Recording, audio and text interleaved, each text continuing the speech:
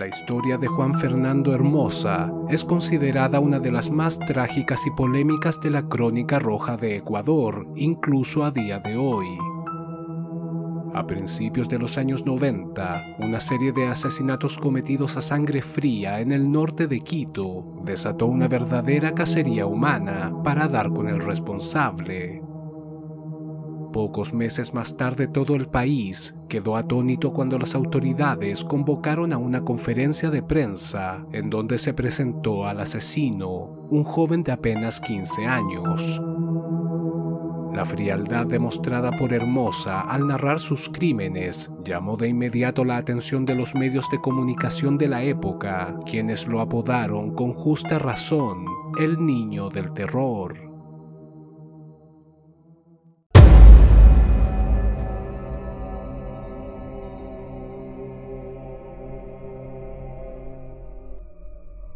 La madrugada del sábado 2 de noviembre de 1991, en la parroquia de Calderón, al norte de la ciudad de Quito, el cadáver de un taxista, identificado como Jorge Aguirre, fue hallado al costado de un oscuro camino con dos tiros en la cabeza. Su vehículo había sido robado y la policía no encontró ninguna pista que les ayudara a resolver el crimen. El 23 de noviembre, las autoridades serían alertadas de un nuevo hallazgo, esta vez en el Valle de los Chillos. Se trataba de otro taxista que había sido ejecutado de dos tiros en la cabeza la noche anterior. Él o los delincuentes también habían robado su coche. Inicialmente este crimen no sería vinculado con los siguientes por la Brigada de Homicidios, pues fue registrado en la parte suroriente de la capital. El jueves 5 de diciembre, otro sujeto identificado como Giovanni Solorza fue encontrado muerto a las afueras de Quito. Los investigadores no tardaron en descubrir que se trataba de un taxista y que el asesino se había llevado su coche. La madrugada del viernes 13 de diciembre, el cuerpo sin vida del taxista Héctor Jaramillo fue encontrado en un sector rural de Quito con un disparo en la cabeza y otro en el corazón. Su vehículo no fue encontrado en la escena del crimen.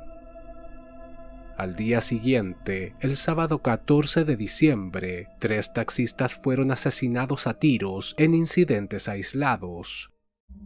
Las víctimas serían identificadas como Moisés Freire, Roberto Moya y Gurmesindo Ortiz. Sus cadáveres serían encontrados a las afueras de la capital y al igual que en los casos anteriores, sus taxis habían desaparecido. Todos fueron ejecutados de tiros en el pecho y la cabeza. Aunque por aquel entonces el robo de vehículos era una práctica relativamente común en Ecuador, aquello no terminaba necesariamente en asesinatos a sangre fría, por lo que la policía no tardó en comprender que se enfrentaba a una situación preocupante. Entre los agentes se corría el rumor que podía tratarse de delincuentes comunes especializados en robo de coches, un grupo de sicarios e incluso de una rivalidad entre cooperativas de taxis, pero no se contaba con ninguna prueba para sustentar dichas hipótesis.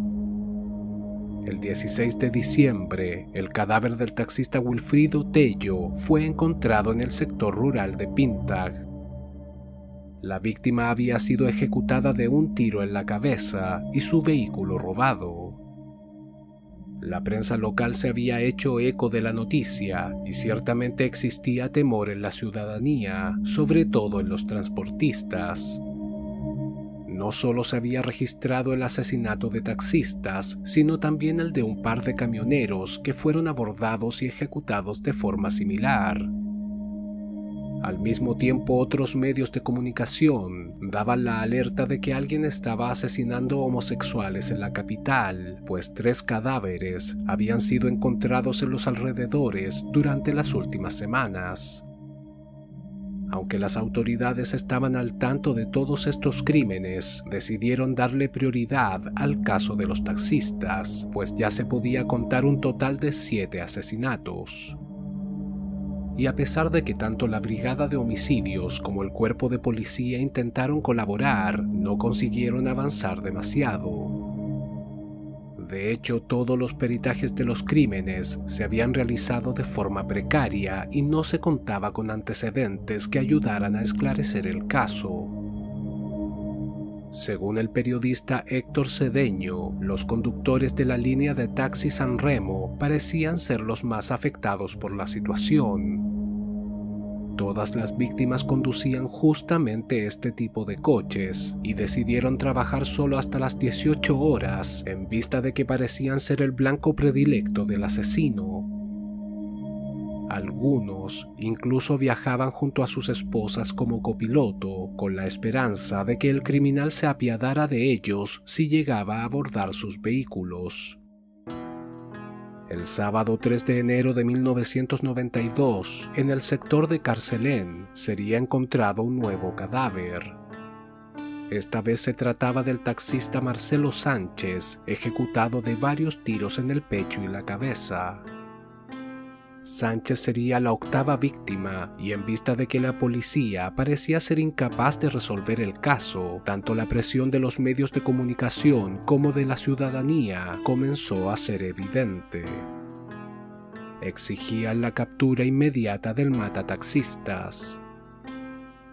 Fue entonces que se realizó una reunión urgente entre las altas esferas políticas del país y se decidió llamar al mayor Fausto Terán, oficial jefe de la Brigada de Delitos contra la Propiedad. Terán era un agente experimentado en casos de asesinato en serie e incluso había realizado un par de cursos en el FBI y el Scotland Yard. Era consciente que resolver este tipo de crímenes era una tarea difícil, por lo que decidió formar un grupo integrado por varios investigadores al que bautizó como COI, Centro de Operaciones de Inteligencia. El COI tenía como único objetivo capturar al asesino de taxistas vivo o muerto. Sin embargo, Terán no tardó en darse cuenta que contaban con muy poca información y los registros policiales y forenses estaban pobremente documentados.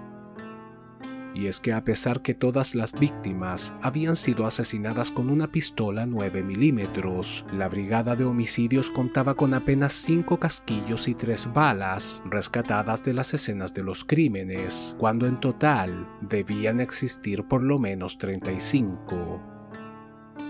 Todo aquello despertó la inquietud de Terán, que de inmediato sospechó que algún agente de policía podía estar involucrado y decidió llevar a cabo la investigación a puertas cerradas.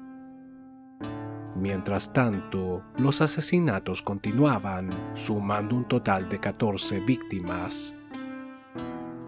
De hecho, en una de las últimas escenas se encontró una nota que decía lo siguiente. Primero fueron los taxistas, luego los homosexuales y después los camioneteros. Que se cuiden los perros de la OID, Oficina de Investigación del Delito. La amenaza no solo resultaba espeluznante, sino que confirmaba las sospechas de Terán, pues estaba seguro que todos estos casos estaban relacionados. Una de las estrategias del COI había sido asignar a varios agentes encubiertos en las calles de Quito para recabar información. Algunos de ellos conducían taxis con la esperanza de coger un pasajero sospechoso, poniendo en riesgo sus propias vidas. La madrugada del miércoles 13 de enero de 1992, uno de los agentes encubiertos escuchó cuatro disparos cerca de un camino poco concurrido de Calderón, Carapungo. En el lugar pudo ver un taxi que se desplazaba a gran velocidad y se dio inicio a una persecución. En el interior del vehículo viajaban cuatro jóvenes, uno de los cuales abrió fuego a través de una de las ventanas. Pocos minutos después el taxi se detuvo y los sospechosos consiguieron huir a pie, a excepción de uno, Luis Aníbal Quispe Pucha, de 15 años, el cual fue llevado inmediatamente hasta la oficina del COI para ser interrogado. Al mismo tiempo, otros agentes confirmaron el hallazgo de un cadáver en Carapungo, el mismo sitio donde se había iniciado la persecución. Se trataba del dueño del taxi, quien había sido ultimado de cuatro disparos a quemarropa. Aquello supuso un avance importante en la investigación. Semanas antes, otro taxista identificado como Pablo Enrique Ceballos realizó una denuncia por intento de robo e intento de asesinato. Según su declaración, llevaba como pasajeros a un grupo de adolescentes que lo abordaron en el norte de Quito, cuando uno de estos sacó una pistola de 9 milímetros e intentó robarle el vehículo. Forcejearon y recibió un tiro en los testículos, pero consiguió escapar. A partir de entonces se comenzó a barajar la posibilidad de que se tratara de un grupo de jóvenes delincuentes, sospecha que sería confirmada tras lo sucedido el 13 de enero en Carapungo. A pesar de la presión de los agentes del COI, en un principio Quispe negó haber participado en los hechos, aunque parecía nervioso se le dejó incomunicado y en horas de la mañana tres jóvenes fueron a visitarlo a la comisaría.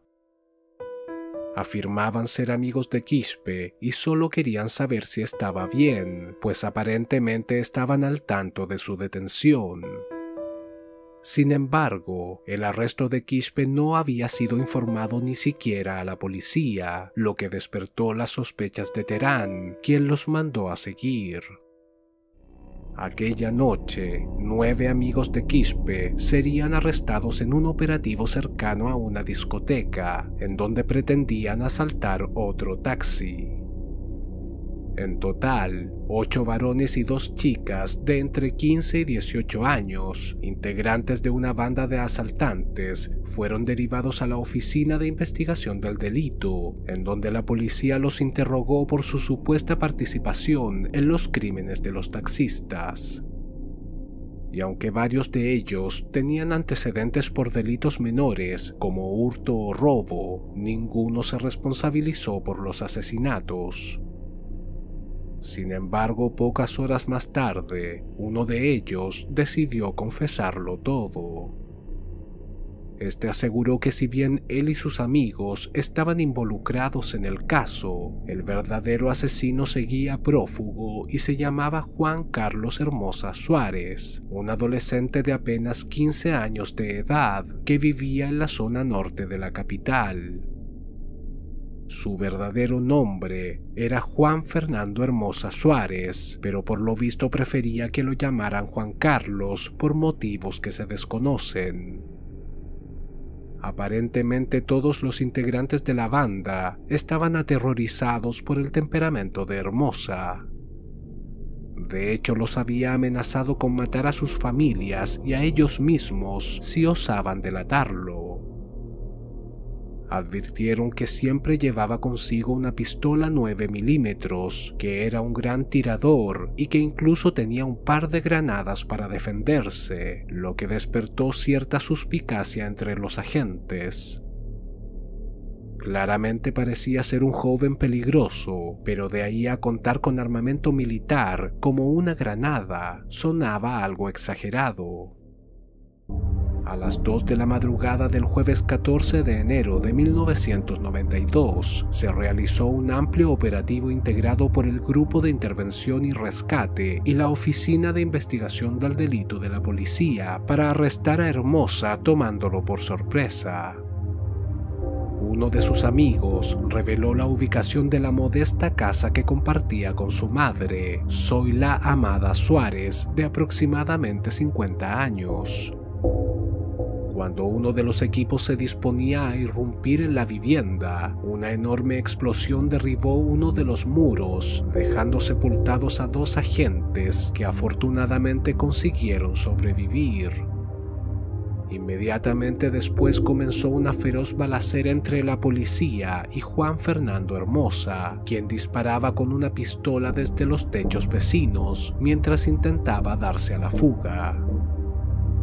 Al darse cuenta que estaba rodeado, finalmente se entregó y fue neutralizado por uno de los policías, el cual lo puso bajo arresto. Cuando miembros del grupo de intervención y rescate hicieron ingreso al domicilio, hallaron el cadáver de la madre del sospechoso, Zoila Amada Suárez, la cual había sido acribillada en el fuego cruzado. La autopsia dictaminó que recibió entre 19 y 20 disparos desde distintas direcciones, lo que eventualmente supondría un enorme problema para las autoridades. Aún así, el COI, la OID y la policía consideraron la operación un éxito pues habían detenido a uno de los criminales más peligrosos de la época. Tras su arresto, Juan Fernando Hermosa reconoció la autoría de 15 asesinatos, aunque los investigadores creían que podía estar involucrado en más de 20. Aseguró que el resto de la banda solo eran cómplices y que él fue el único que disparó el arma para ejecutar a las víctimas, justificó sus crímenes diciendo que eran ladrones de coches y que el dinero lo utilizaban para comprar ropa, alcohol, drogas y artículos electrónicos. Una de las mayores incógnitas era cómo un adolescente había conseguido una pistola de 9 milímetros, balas y una granada. Hermosa aseguró que las compró a dos policías con los que conversaba regularmente y se dio inicio a otra investigación para identificarlos. Ese mismo día, cientos de ciudadanos y dirigentes del gremio de los taxistas se reunieron en las calles de Quito para exigir a las autoridades que detuvieran al asesino. Habían pasado más de tres meses desde que se inició la ola de crímenes y el gobierno estaba siendo duramente cuestionado, por lo que el presidente de la nación, Rodrigo Borja, destituyó de su cargo al jefe de la OID y al inspector nacional de investigaciones, además de solicitar la ayuda de las Fuerzas Armadas para resolver el caso aunque ignoraba por completo que en ese mismo instante Juan Fernando Hermosa y su banda se encontraban declarando en las oficinas del COI ante el mayor Fausto Terán. Cerca de las 15 horas, la policía y los integrantes del COI convocaron una rueda de prensa para comunicar a todo el país que por fin habían arrestado al responsable. Lo que nadie esperaba es que se tratase de un chico de apenas 15 años de edad. Hermosa, con voz serena y mirada vacía, reconoció ante docenas de periodistas haber matado un total de 15 personas, afirmando que disparaba a los taxistas cuando se resistían a los robos y también cuando cobraban más de lo debido por un viaje. Si bien admitió que su pandilla de amigos solía acompañarlo durante los robos, se responsabilizó de todos los crímenes y no manifestó remordimiento alguno. De hecho, la frialdad de su relato dejó conmocionado a todo Ecuador y los medios de comunicación lo bautizaron como el niño del terror. Juan Fernando Hermosa Suárez nació en Cantón Chuchufindi, provincia de Sucumbíos, Ecuador, el 28 de febrero de 1976. Un año más tarde sería dado en adopción, pues sus padres eran de bajos recursos y no podían mantenerlo. Su nueva familia, compuesta por el matrimonio entre Rafael Olivo Hermosa y Zoila Amada Suárez, vivía en la ciudad de Babahoyo, pero se mudarían al norte de Quito a principios de los años 80. Cuando tenía siete años, Gloria, su hermana biológica, lo fue a visitar y le confesó que era adoptado. Rafael, su padre, afirmaría en una entrevista que después de aquel suceso, Hermosa nunca más volvió a ser el mismo. No solo se convirtió en un chico conflictivo, sino que comenzó a desquitarse con los animales. Contando con solo siete años de edad, decapitaba gallinas y gatos por mero placer e incluso coleccionaba las cabezas en su habitación. Cuando iba en segundo grado, se corría el rumor que Hermosa llevaba gatos a la escuela y los decapitaba con un cuchillo frente a un grupo de compañeros para luego beberse la sangre. Cierto día, una de las maestras encontró la cabeza de un gato en su escritorio y dio aviso a la rectoría, pero no se tomó ninguna medida al respecto. Al día siguiente el chico se presentó ante la rectora de la escuela, sacó un gato de su mochila, lo decapitó y se bebió su sangre para demostrar que él era el responsable, tras lo cual sería inmediatamente expulsado. Continuaría degollando y diseccionando animales, posiblemente para saciar sus fantasías sádicas, pero también para llamar la atención. Tras estos incidentes decidió abandonar los estudios y se dedicó a realizar hurtos y robos en las calles de la capital. Aunque pasaba gran parte del día delinquiendo, por las noches regresaba a cuidar de su madre, pues ésta padecía de artritis y sordera, mientras que su padre se ausentaba de casa durante días, pues debía cuidar unas tierras en la provincia de Sucumbíos. A la edad de 13 años, Hermosa decide robar un vehículo junto a un grupo de muchachos. Sin embargo, fueron detenidos y enviados a una institución de menores, desde donde se fugaría al poco tiempo. Sería nuevamente arrestado a la edad de 15 años por robar una bicicleta y enviado al Centro de Orientación Juvenil Virgilio Guerrero, en donde conocería a Luis Aníbal Quispe, un muchacho de su misma edad y que también se dedicaba al robo. Según Quispe, Hermosa era constantemente acosado por otros chicos del penal y decidió defenderlo, por lo que ambos trabaron amistad. Poco después, idearon un plan para escapar de la correccional. Reclutaron a otros cuatro internos y se acercaron a uno de los guardias con baldes llenos de excremento que habían rescatado desde las letrinas y amenazaron con lanzárselos en la cabeza. El hombre huyó y pudieron darse la fuga fácilmente, pues las medidas de seguridad de dicho centro eran mínimas. Una vez en la calle, Hermosa le propuso a su nuevo amigo formar una banda para realizar delitos más avesados y generar mayores ingresos. El grupo llegó a reclutar más de 10 miembros de entre 15 y 18 años, y aunque seguían robando bicicletas, Hermosa y Kishpe aspiraban a convertirse en ladrones de coches. El problema es que ninguno de los dos sabía manejar, así que le pagaron a un taxista para que les enseñara. Aprendieron a hacerlo justamente en un taxi de la marca San Remo. El primer robo fue el de un Hyundai Accent, y aunque no hirieron al dueño del vehículo, se volcaron en la carretera mientras huían y se salvaron milagrosamente de morir.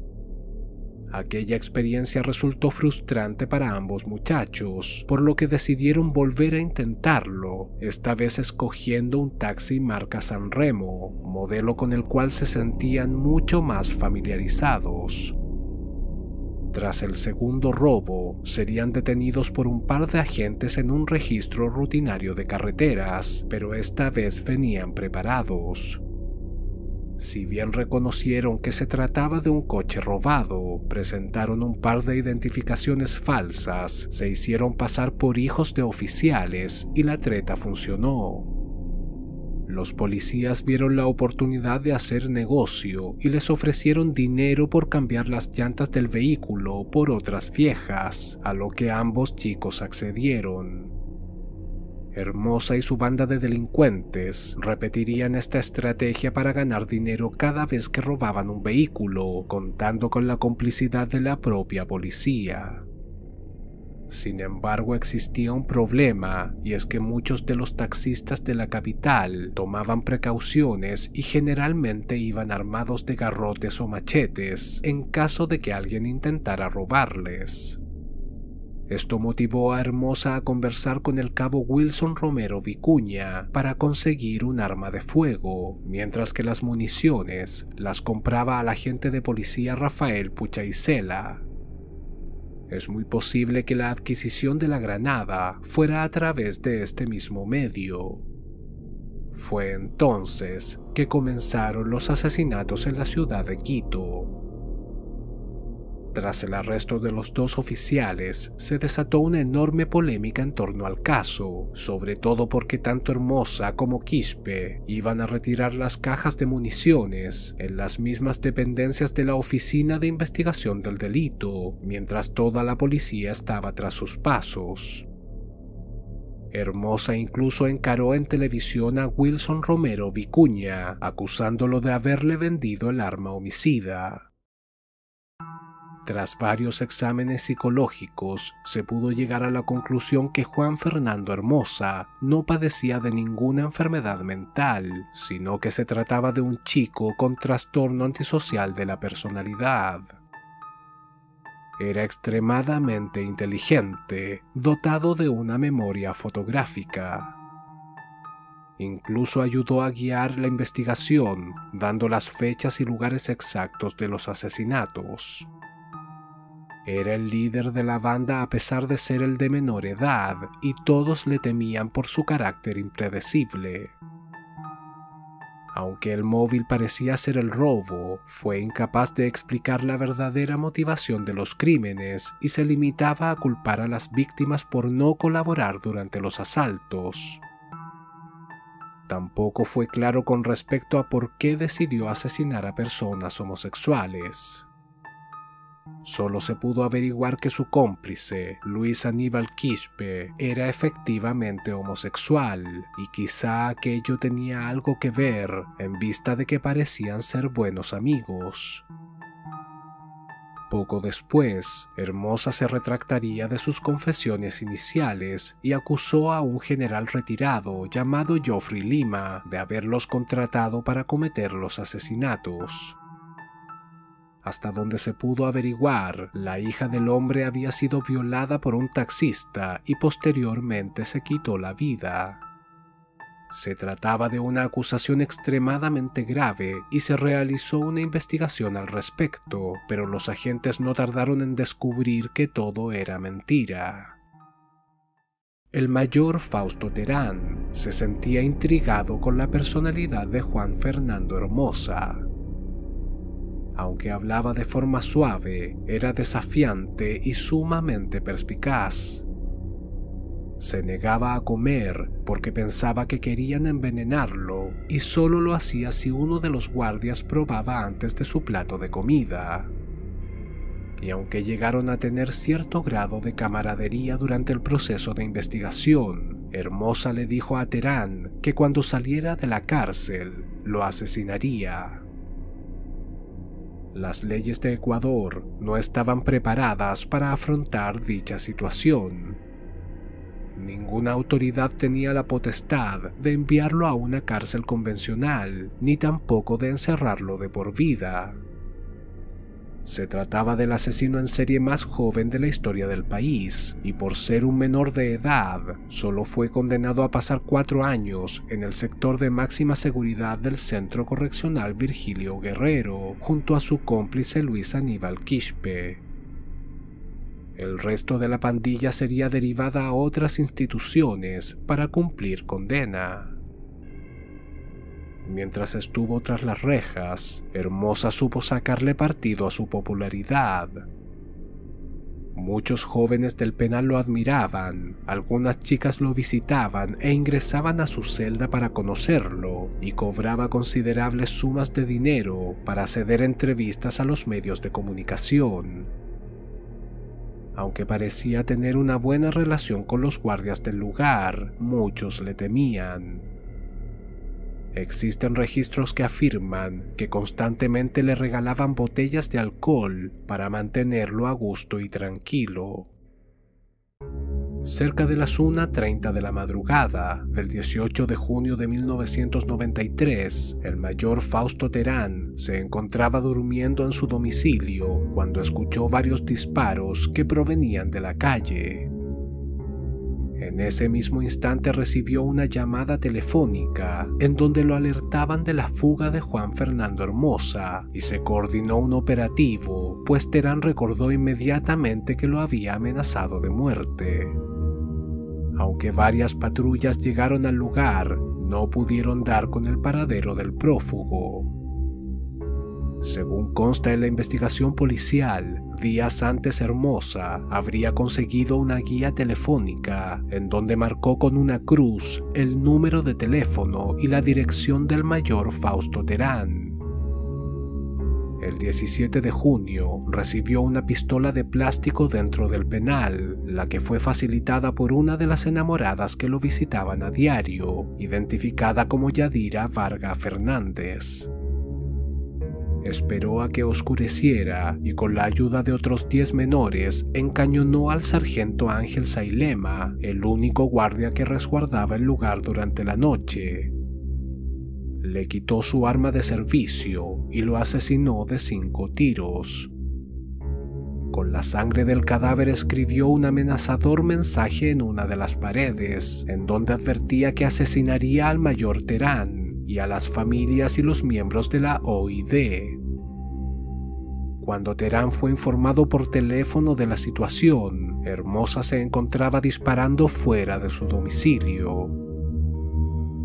La fuga de Juan Fernando Hermosa dejó conmocionada a la opinión pública y el gobierno ecuatoriano solicitó la ayuda de los países vecinos para recapturarlo, pues existían antecedentes de que podría haber emigrado a Perú o Colombia pasarían tres largos meses hasta que la policía colombiana se comunicó con las autoridades ecuatorianas para informarles que finalmente habían atrapado al fugitivo en la localidad fronteriza de Lorito, en donde intentaba subsistir por medio del robo.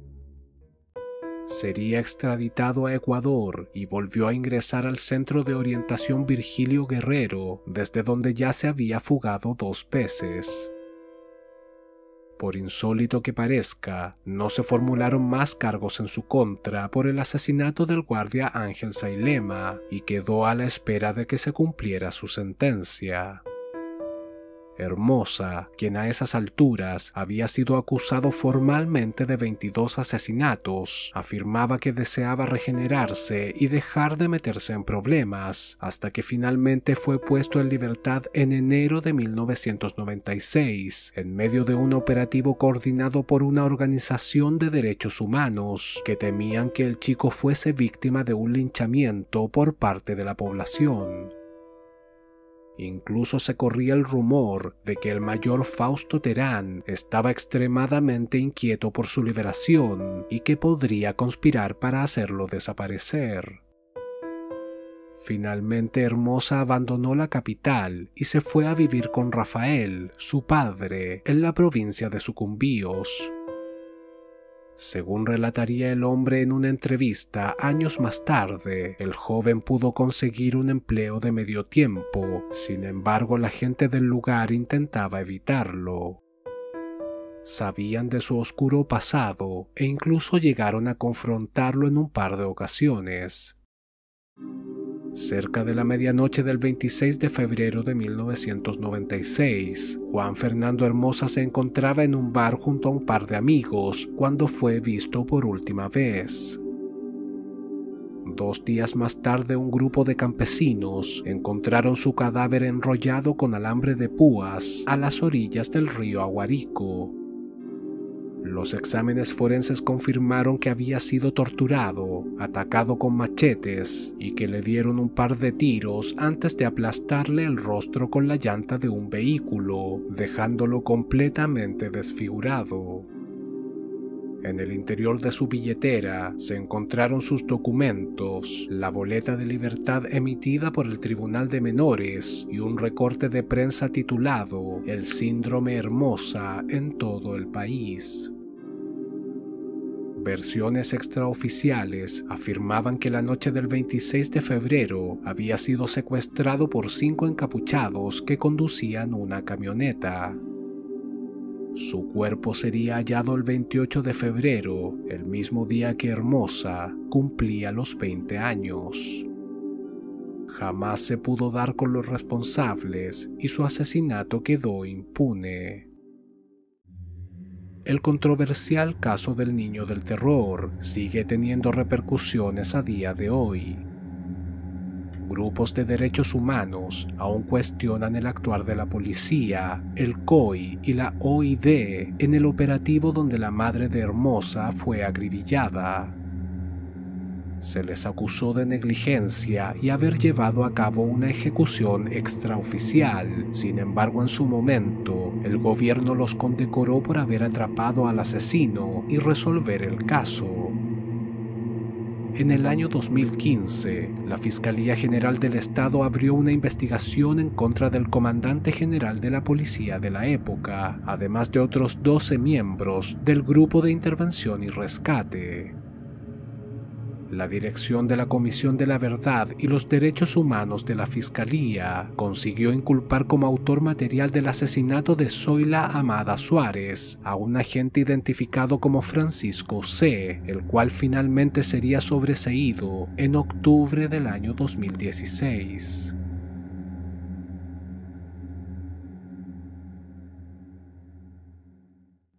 Si este video te gustó, dale like, suscríbete y compártelo en tus redes sociales. Esto me ayudaría mucho para seguir subiendo este tipo de contenido. Recuerda hacer clic en la campanita para recibir un mensaje cada vez que suba un nuevo video.